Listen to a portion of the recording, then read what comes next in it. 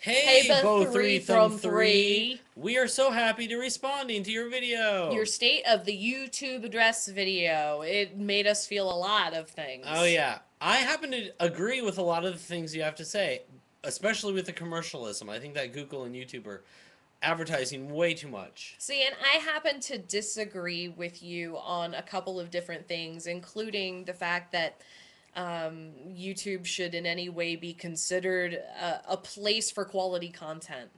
Yeah, because there's a lot of crap out there these days, and I know we're all trying to make the best crap, but everyone kind of makes the same looking crap. Well, yeah, that is true. Imitation is the best form of flattery, blah, blah, blah. But Yeah, I, we're all looking for the purple cow.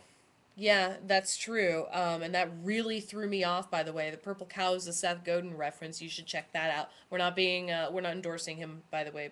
Um, I really like Rufus Wainwright. and that had nothing to do with your video. But I wanted to just say that I appreciate that you're making the video, um, despite the fact that I disagree with you on things like production value in video blogs, which I think is a very good thing, and uh, and the right for people to um, benefit financially from YouTube.